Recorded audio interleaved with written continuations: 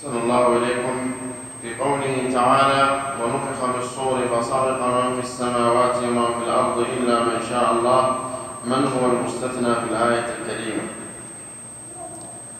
المستثنى والله أعلم الحور العين في الجنة. نعم.